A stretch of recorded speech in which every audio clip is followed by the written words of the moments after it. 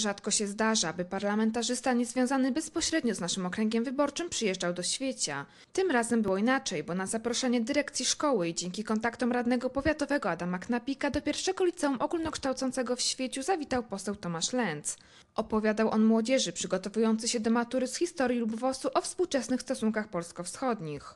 E, Serdecznie dziękuję za zaproszenie e, gronu pedagogicznemu, panu radnemu i wam przede wszystkim. Bardzo miło się spotkać z młodzieżą w świeciu.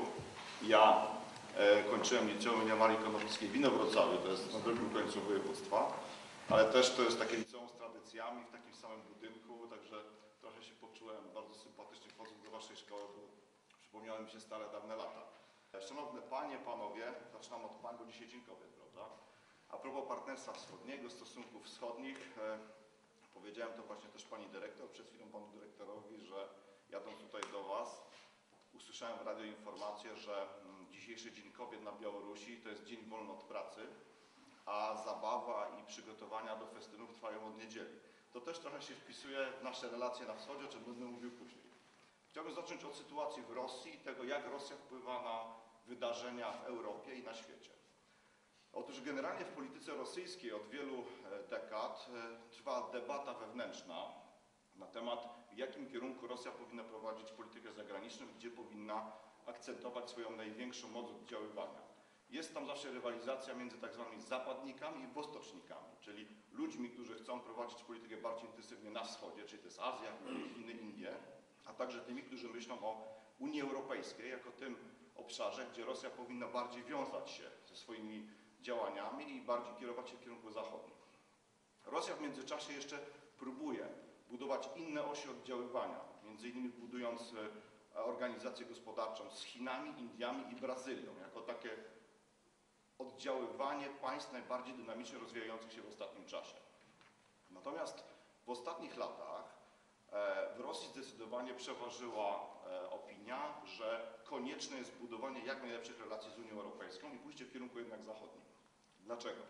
Otóż Chiny ze swoją dynamiką, przede wszystkim przyrostem urodzeń, demograficznymi możliwościami są zagrożeniem dla Rosji na jej wschodnich granicach. Chińczycy coraz bardziej ekspansywnie wchodzą na tereny rosyjskie. Osób narodowości rosyjskiej na terenie całego, całej Rosji, całej Federacji Rosyjskiej jest coraz też mniej. Jak gdyby e, ilość osób e, e, słowiańskiego pochodzenia cały czas się zmniejsza.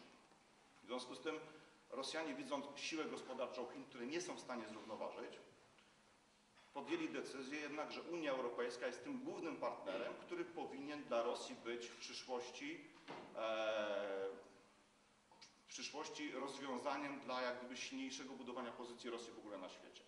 Po krótkim wykładzie posła specjalizującego się od lat w stosunkach polsko-ukraińskich, młodzież z pierwszego, drugiego oraz katolickiego liceum ogólnokształcącego miała też możliwość zadawania pytań i prowadzenia dyskusji, również na temat obecnej sytuacji politycznej. Zawitał Pan dzisiaj do świecie, aby spotkać się z naszą młodzieżą, przeprowadzić e, wykłady na temat e, stosunków polsko-wschodnich, polityki wschodniej.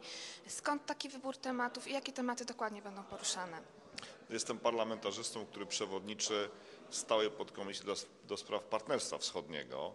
Jestem także przewodniczącym Polsko-Ukraińskiej Grupy Bilateralnej, no i od lat specjalizuję się w tematach polityki wschodniej, związanej z realizacją także partnerstwa wschodniego, relacji między Polską a Ukrainą, relacji między Polską a Rosją. A propozycja spotkania się z młodzieżą, która będzie zdawała najprawdopodobniej na kierunki polityczne, międzynarodowe, dziennikarstwo i prawo, no, chętnie przyjąłem taką propozycję, aby się spotkać i podzielić się swoją wiedzą i doświadczeniem w tych sprawach. Czas szybko biegnie i bardzo zmienia się rzeczywistość wokół nas. Gdy ja chodziłem do liceum, ponad 20 lat temu nie było internetu, nie było telefonii komórkowej, nie było takiego otwarcia Polski na świat. Młodzież dzisiaj jest zupełnie inna, ma inną perspektywę patrzenia na życie codziennie, na swoje możliwości, swoje szanse w życiu. I chętnie także ich słucham, aby się czegoś dowiedzieć, jeżeli chodzi o ich potrzeby. Polityka wschodnia to właśnie tak jak Pan wspomniał, Pana chleb y, powszedni.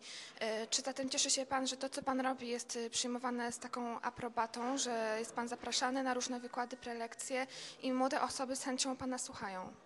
Znaczy, powiedzmy sobie szczerze, że Polska jest tym krajem Unii Europejskiej, bo przecież jesteśmy we wspólnocie europejskiej, która kładzie główny nacisk na prowadzenie przez Unię Europejską polityki wschodniej. W związku z tym, jak gdyby polską domeną, polską specjalnością stało się rozwijanie dobrych relacji na wschodzie i tym są zainteresowani e, Polacy, polscy politycy, także w e, Parlamencie Europejskim. W związku z tym jakby Polska jest postrzegana jako ten motor polityki wschodniej UE.